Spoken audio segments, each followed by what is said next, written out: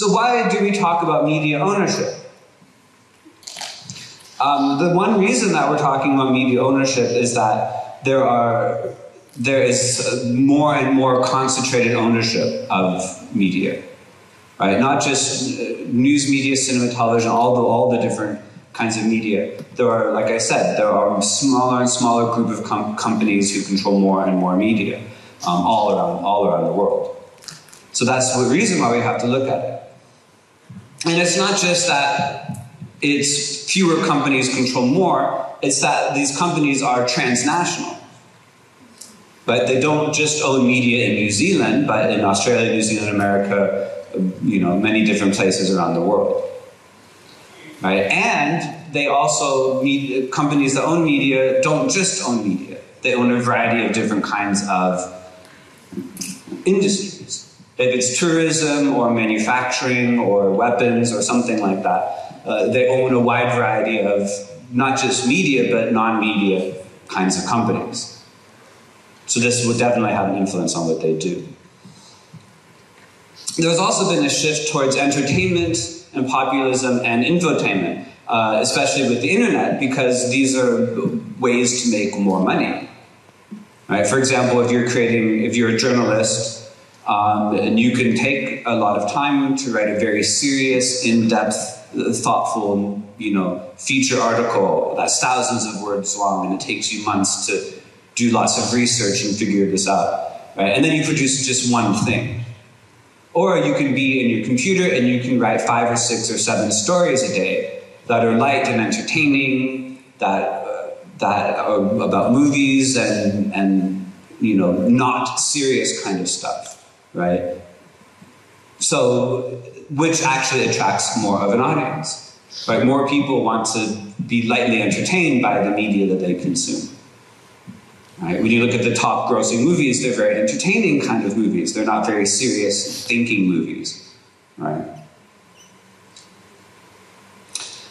Um, and the view is more and more that the audience are consumers, Right? Like I talked about in the lecture about, about journalism, uh, there's some idea that, that the media is public service, that it's supposed to serve the citizens and inform people about what's going on. Right? When TV started, people were very excited because they said, oh, it's great. We can have lots of educational TV programs and teach people about math and science and things like that. But you found that people, uh, that TV stations don't make money doing that they make money by treating the audience as, as consumers. And there's been an increasing commodification of media content and audiences, like I said. The, the whole purpose for most media companies is just to make as much profit as possible.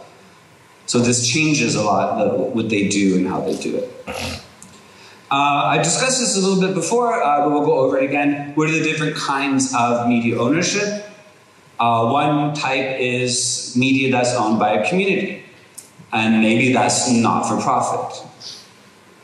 Right? There are some big not for profit media companies, but usually they're, they're, they're quite small. Um, they're the TV station or a newspaper for like a city or for a, a university campus or something like that. Um, they can be a bit bigger.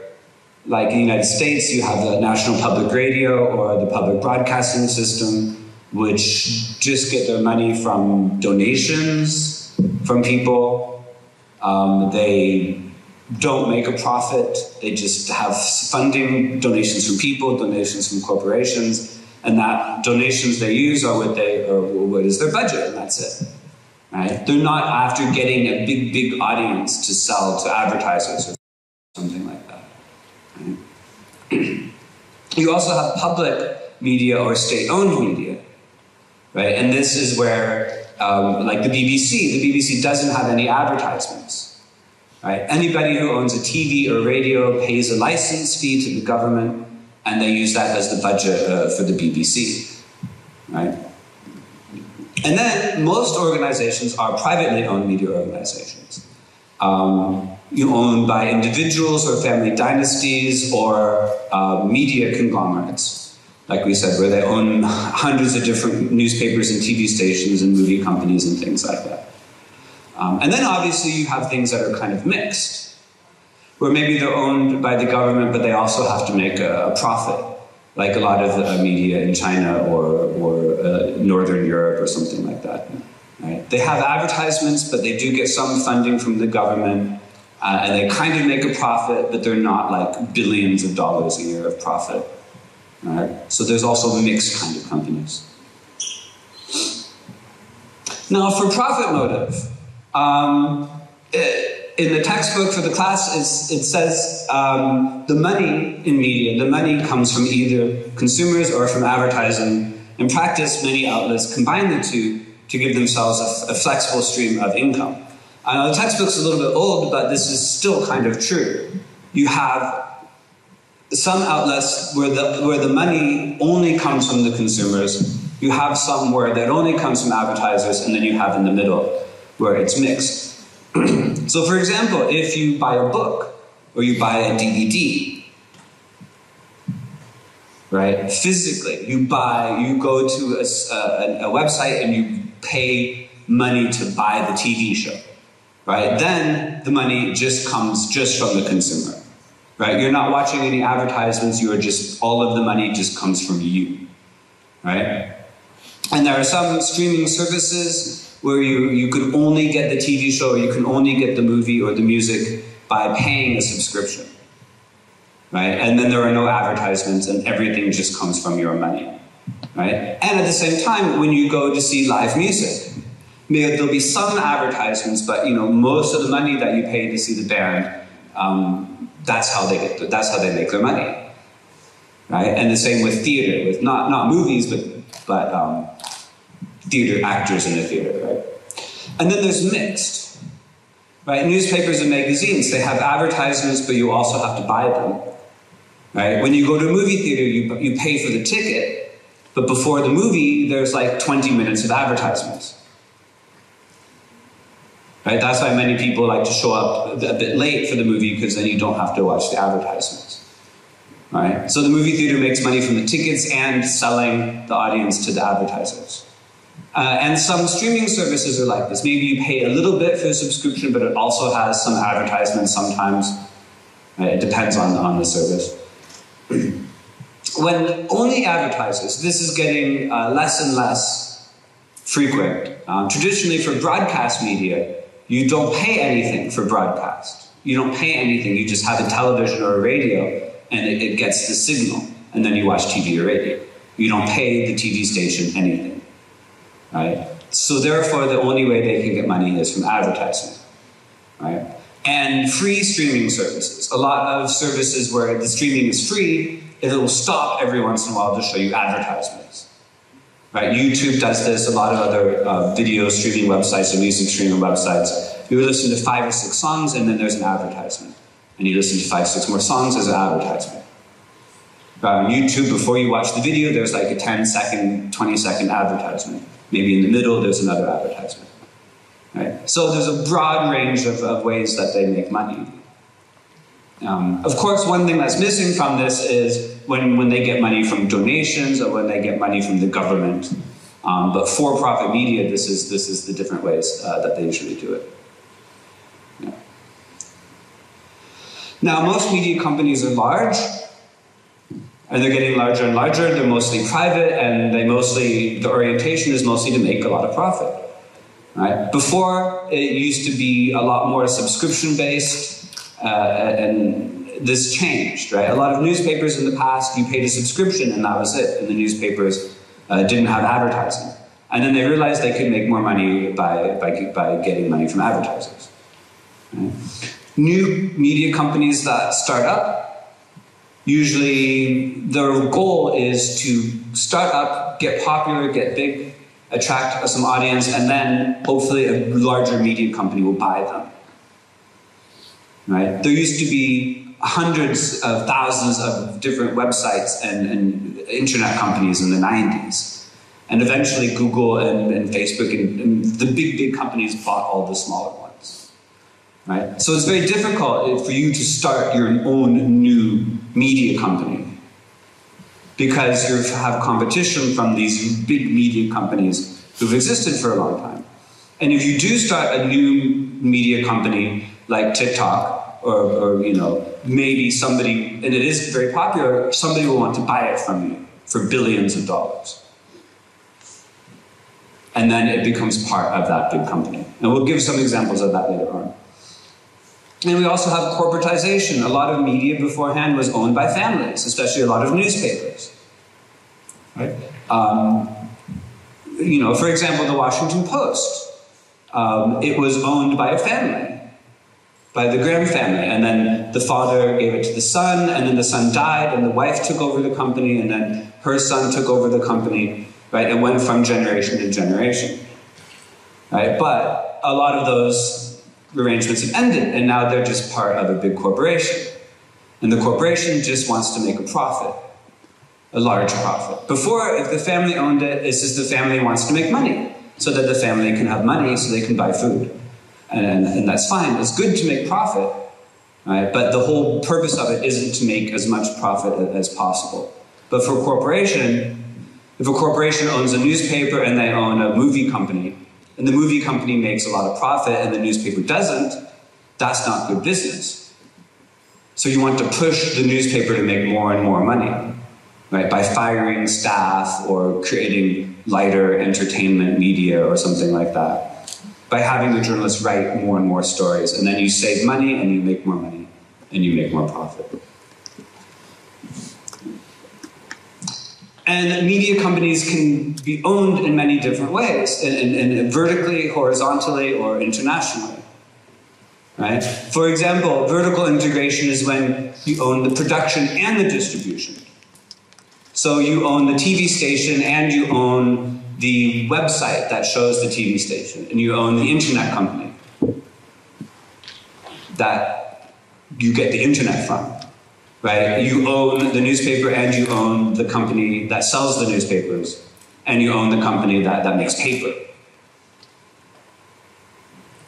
Right? You own all the different steps, right? You own the movie studio, you own the movie distribution company, and you own the movie theater right?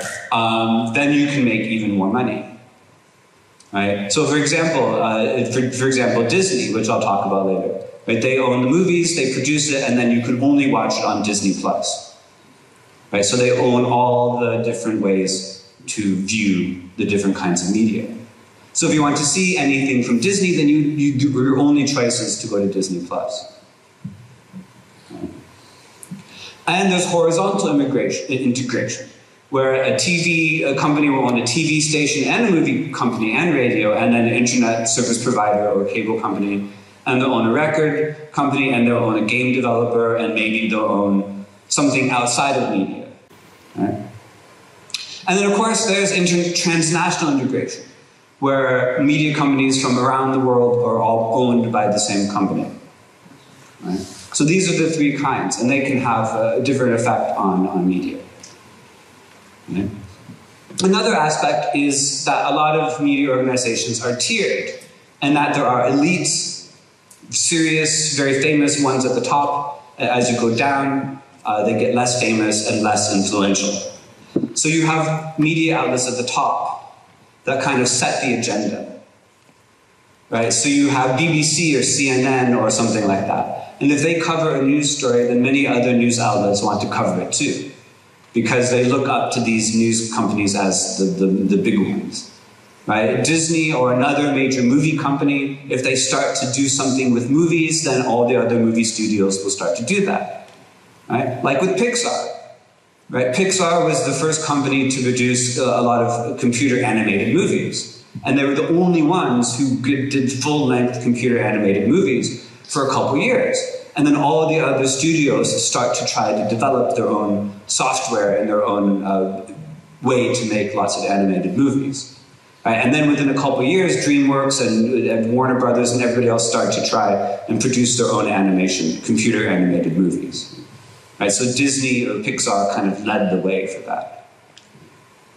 Um, and we have to think about centralization too. A lot of media production is centralized in certain places. Right? If you want to be very, very successful in the movie industry, Zhuhai is not the best place to do it.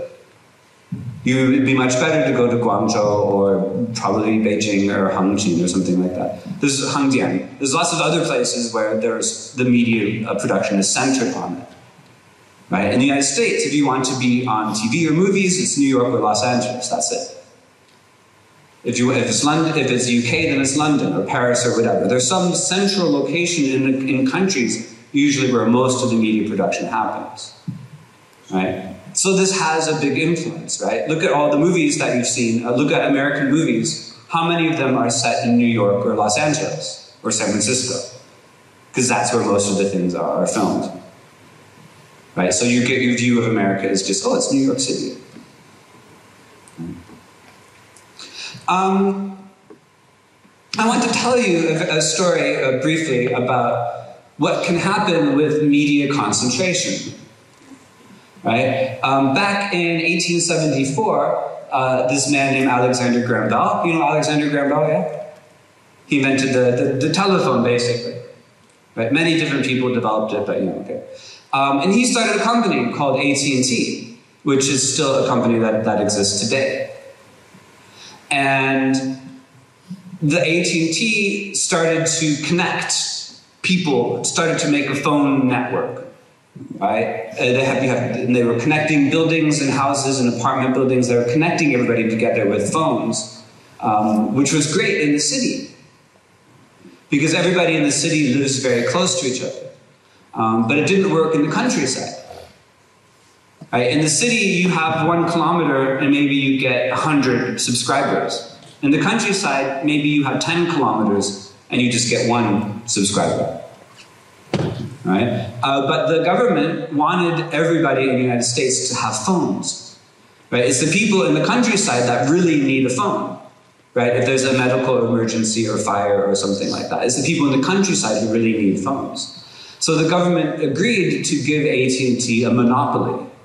They said, you build telephones, you, everybody in the United States gets a telephone, and then you have a monopoly on the telephone industry. Um, so AT&T over, over many years was able to connect every single person in the United States. Right? If you built a new house, if you if you built a house anywhere, you call AT&T and you say, "I want a phone," and they have to bring the wire to your house to give you a phone. Right? Um, but the problem is that the, the, the customer service for AT&T got really bad because they had a monopoly. There was no competition right? So many different people filed an antitrust suit against AT&T, and then eventually, uh, 10 years later, the government decided to break it up into seven different companies. Um, and this is really great. In the 80s, there were seven different phone companies, so you had a lot more competition. You had many uh, different choices, right? And the price went down, and the service got better. Um, and then, in the 90s, all the telephone companies started to buy each other. So in the end, most cities in America now only have two different phone companies. Before they had seven, now they just have two, because all the other companies bought each other. So the competition is a lot less now. The customer service has gone down, uh, again, because now there's most markets, there's just two companies providing telephone and, and internet. Right? So this is the bad thing that can happen when you have more and more media concentration. Right? The government in the 1990s got rid uh, of regulations. The government had regulations about that, that about companies buying each other, but the government got rid of those regulations. So.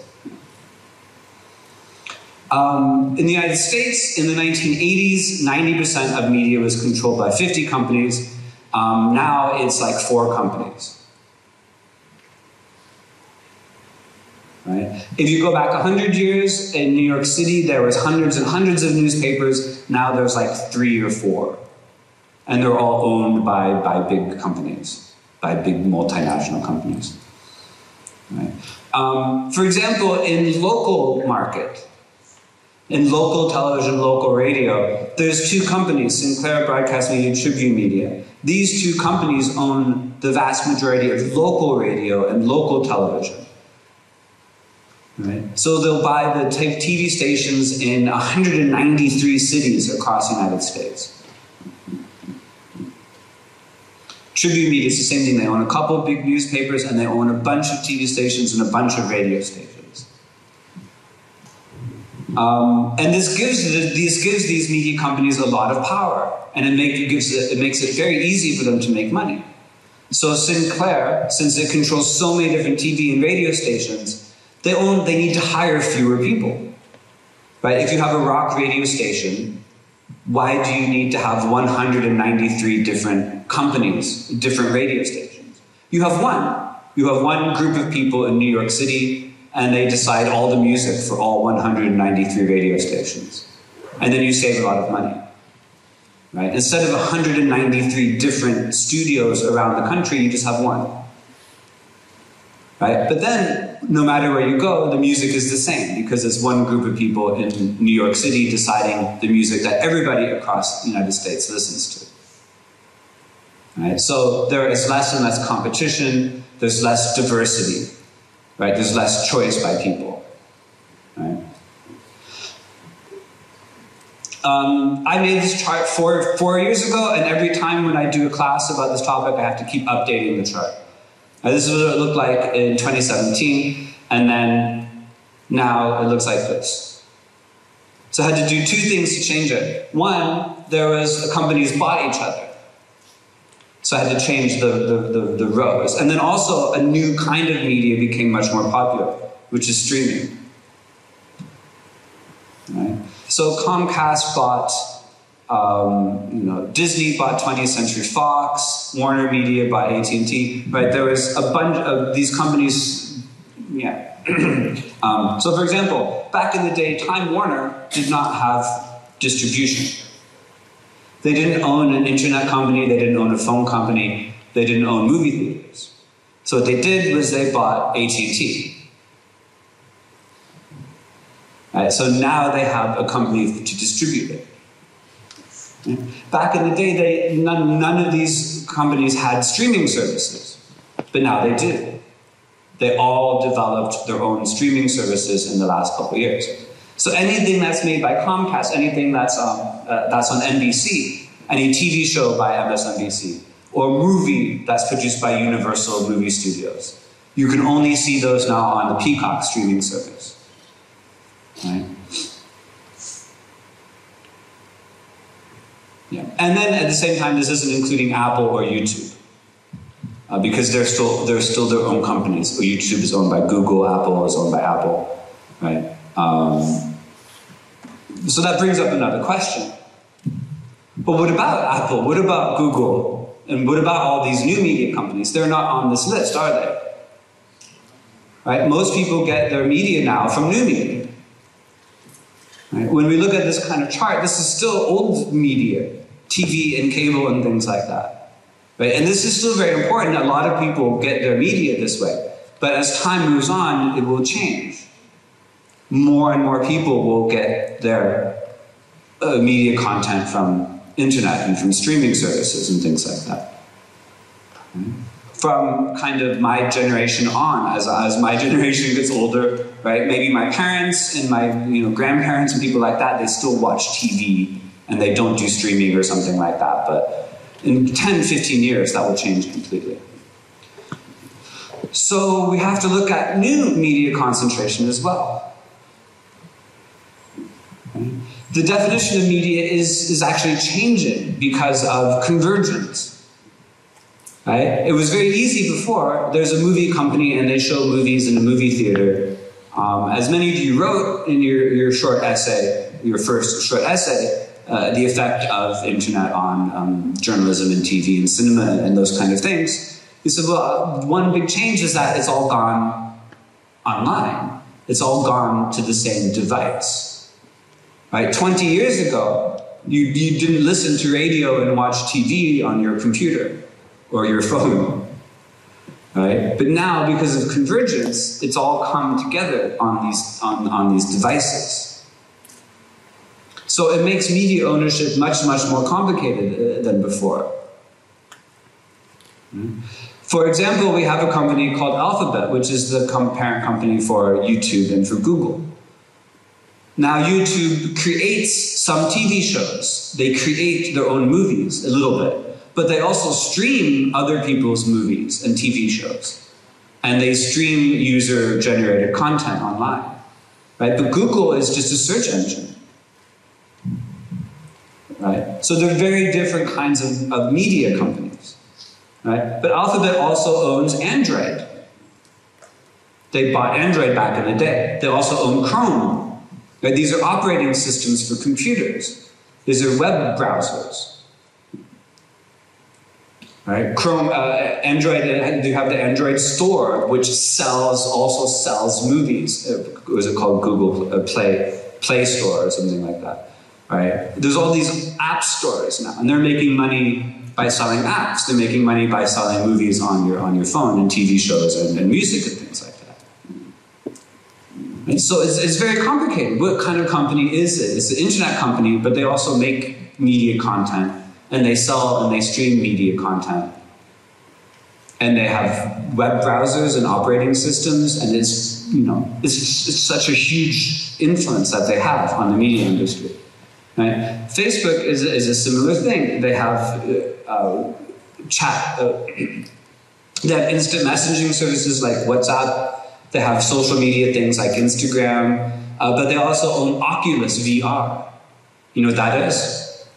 VR. It was on your quiz. Virtual reality. Right? You put the goggles on. Right? Why would Facebook? Facebook is social media. Why would they buy a company that does virtual reality? So they can make more money. They want to have many different kinds of companies that they own. Right? So then Facebook can make games or something using this technology. Right? The same thing with Amazon. Amazon used to be just a company that sold books online. And then they started selling anything. Then, then they started selling clothes and home appliances and things like that. And then they started selling movies and books and music, uh, uh, digital books and movies and music through their, through their service. Right? So they have Kindle for ebooks, Audible for uh, audiobooks. Right? And then they bought a supermarket, a real supermarket in real life right? And then they bought a TV studio. So they're a media company. they're a media company, but they sell stuff online, but they also sell food offline, but they sell books and they sell music, and then they make movies and TVs, TV shows now. Right? Our definition uh, is changing because of this. Verizon is a phone company. Right? They're mobile internet mostly, but they also buy lots of websites like Yahoo and Flickr and Tumblr, and they bought a news, an online newspaper. So it's, it's becoming increasingly confusing as, as time goes on because all the companies are uh, converging. Right? And convergence is not just you can watch music and movies on your, on your phone. It's these companies are converging at, at the same time. Right? And this has happened historically over time. For example, Facebook, um, if you start at the bottom, Facebook bought a company, FriendFeed, in 2009. And this was a company that had good algorithms for match for matching uh, for matching people with other people. Right? It was it was very good. Uh, they had good uh, programming for social networking. Right? And then, like I said, they bought Instagram and Oculus and WhatsApp and, and Giphy, which is a company that has lots of GIFs, right? For $400 million, right? They're buying all these different companies together so that they, uh, they can make a lot more money, so that they can have a wide variety of products that they sell. Right? Google, right? They bought Android in 2005, YouTube, different advertising. Motorola's a phone company, right? Fitbit, all these different, different kinds of technology companies. Right, Microsoft bought PowerPoint back in, in 1987, then email, then uh, online chatting, Skype, and then a phone company, and LinkedIn, a business social networking website, right? And this is how these companies get so big. They buy all these smaller, smaller companies. Right? The same thing with ByteDance. Right? They own TikTok, Toutiao they bought Musical.ly, which was an American kind of version of TikTok. right? They bought, they merged TikTok and Musical.ly together, and now there's probably more than 300 million users now. There's probably 600 to 700 million people using uh, these apps. Right? And what does TikTok make? They don't make anything. They help people make content, right? But TikTok uh, has agreements with music companies. They reach out to music companies and they license their music. Right? Artists will work with TikTok to promote their new album. Right? The artist will be singing the song here, and then the, the user will be singing the song here. Right? To promote their, their new music.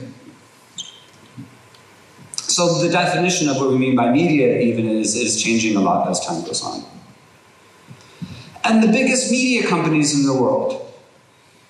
Right? A year ago, it, it looked like this Microsoft, Amazon, Alphabet. And then number four, we have Alibaba, and then Facebook, and Tencent. Verizon, Walt Disney, AT&T, all these different companies, right? But the pandemic uh, changed a lot of things. And some companies got bigger and some got smaller. Right? Their value, some of them went down, some of them went up. Um, but still, it's very odd to call these media companies because some of them are, you think of them as computer companies. But they produce content and they distribute content. Right? They own the internet service, they own the streaming service, they own all the different things together. Right? um, I'll quickly go through this case study of Walt Disney Company. Right? Walt Disney Company started uh, almost 100 years ago, making short little cartoons like uh, starring Mickey Mouse.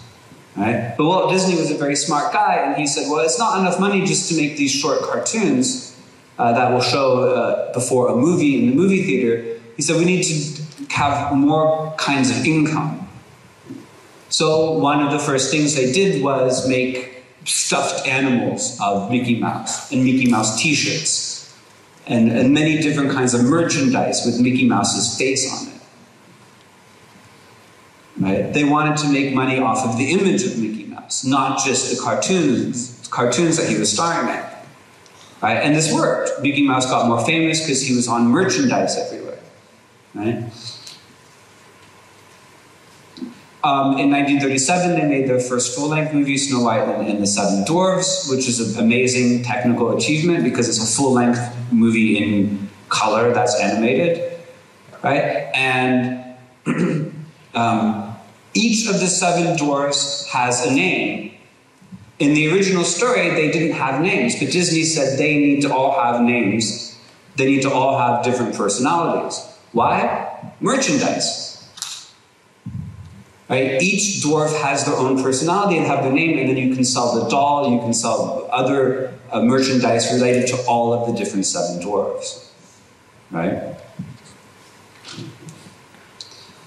In the World War II, they made propaganda films for the US government. In 1946, they started to make live action movies, not just cartoons.